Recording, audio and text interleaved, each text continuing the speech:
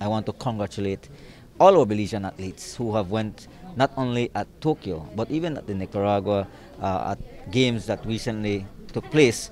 And I want to I want to offer my personal congratulations uh, to those young uh, athletes um, in, that came back home and with gold, silver, and bronze medals.